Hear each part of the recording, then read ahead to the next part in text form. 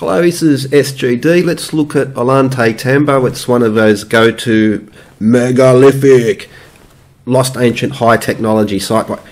How did the Incan couldn't move these stones and the Incan blah blah couldn't do this? Okay, let, us look at the, the logic and the arguments that they use. So here's a picture of the site. Now, uh, Tambo. Now, there's the megalithic zone. So all of the heaviest stones are right there in that area. Now, here's a here's a hint, and I'll do more. I'll come back to this later. But uh, how, do you find the megalithic zone? Where all the megaliths, like how did they move these megaliths and drag? How did they drag these up the mountain? Well, just follow the ramp. There's a big freaking giant ramp right there that leads right to the site. I'll come to more in this later. This is just completely ignored, and uh, they, they'll stand on the ramp to take photos asking this question, how did they move it? And the ramp's right fucking there. Anyway, all right, now. Uh, so the big, you know, the, the giant wall, the, the great wall, the, the, uh, the, alleged temple. So that's where it is there. It's right at the top of the ramp. Uh, a nice sloping ramp as well. So here's another view. Just you can see where that uh, particular wall is located. Get a little bit closer. It's the same wall there and we see the same view there now. Okay, next part. So that by far is the heaviest stone in this entire site. Uh, the other stone there you can see marked, which is you know uh, it, it's 80 tons and it's the heavy. No, it's not even close to it. This is not. This is the the heaviest stone by far is that one that you see highlighted there, just by volume alone. So uh, now, even consider these other smaller stones there. Uh, now, to get an idea of the weight of a piece of granite, think of a refrigerator, your standard size fridge. So you can you know, put it to basically six foot high, uh, half as wide, and, and half as deep. It's 1.28 cubic meters at the highest uh, weight of granite. A fridge sized block is three and a half to 3.8 tons. So all of these other stones, which are described as megalithic, they are not megalithic. They're not uh, heavy.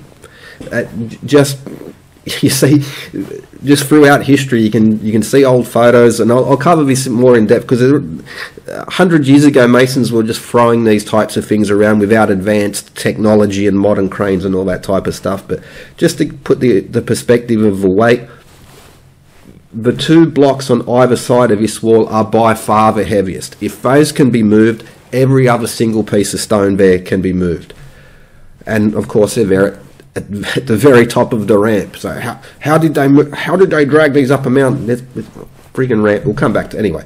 So um, back to the wall. Now the argument is, well the Inca couldn't do it. The Inca, Inca, Inca, and that, well, okay, top argument that they use, they'll point to these stones there and they say, well, this cruder Incan masonry is on top, therefore the other blocks have to be pre-Incan. All right, so, something, something, Younger Dryas, therefore evidence of a cataclysm and therefore advanced, lost, ancient, high technology because the Incan could not move these giant stones. Now, here's where the, uh, the, the logic, illogic of it is it's just remarkable anyway.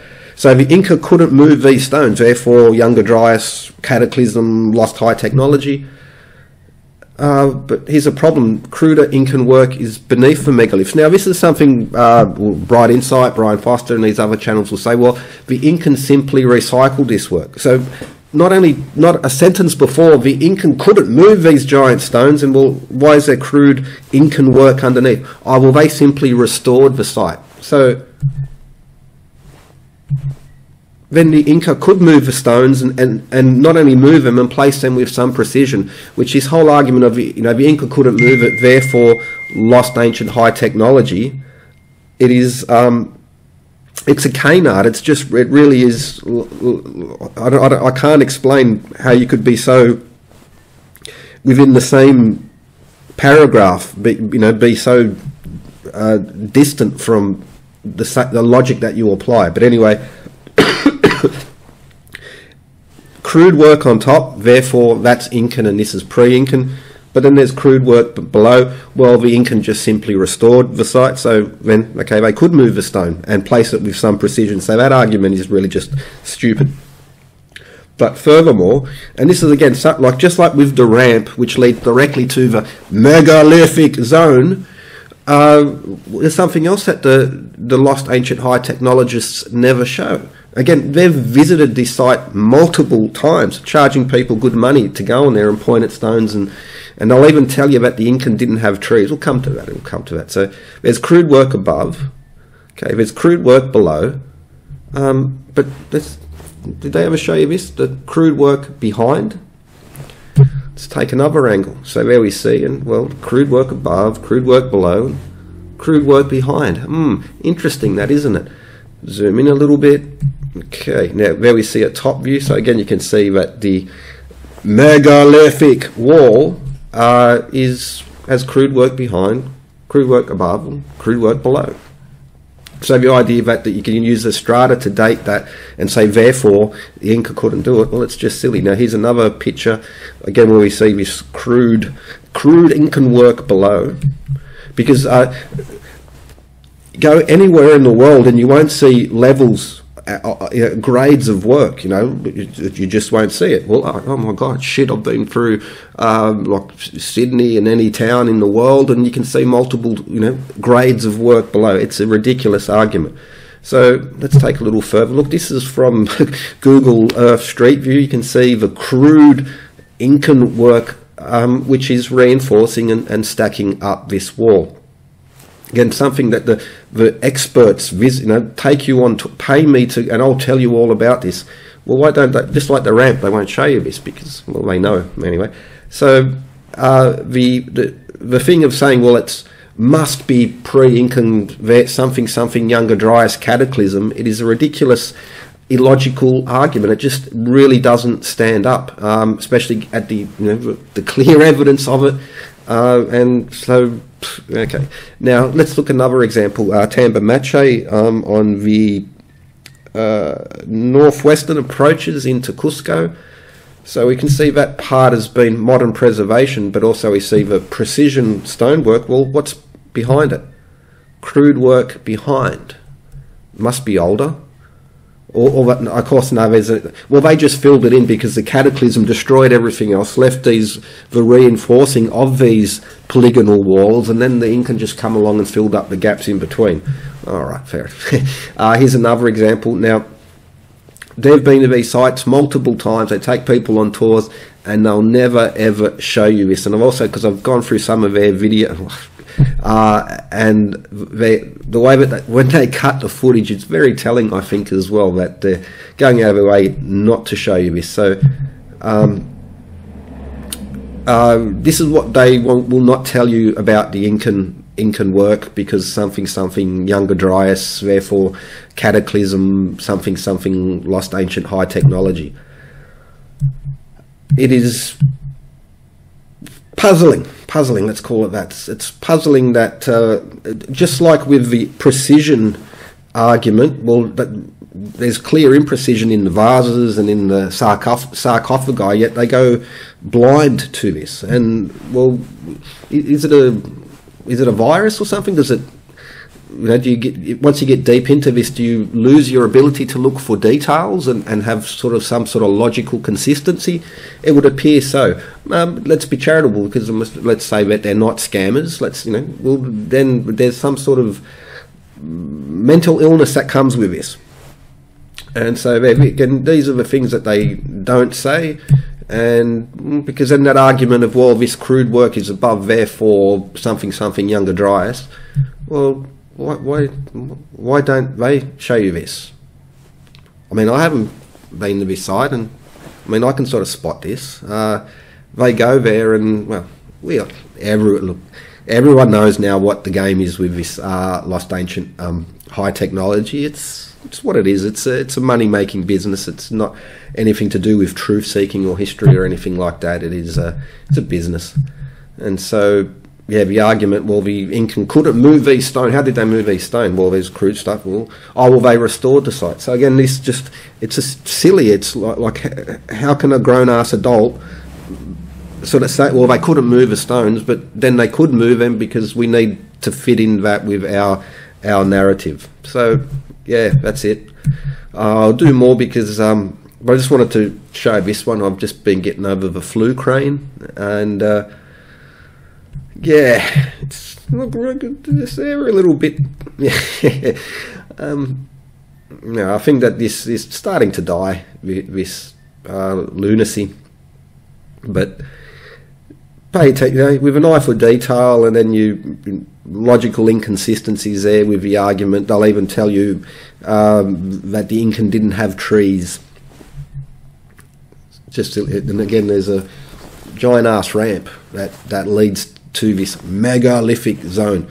We'll go more into detail. I'll show examples as well because even their claims of where the quarry is, and it, it's it's just ridiculous. And uh, people say, "Well, I'm being mean. I'm being mean." Well, these guys throw shit. Um, I'll put the clips in the video. The, the academics and they ignore and they're not paying attention to the nuance. And if you once you knew these nuances, you'd see that there's a big hole in the academic argument. I'd just, well, fuck me dead.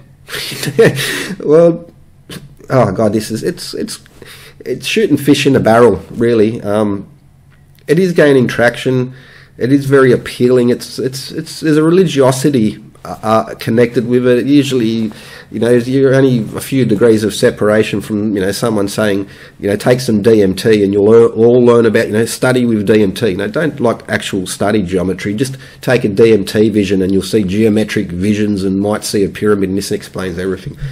It's, uh, the downfall of, of reason and, and civilization. This is very important.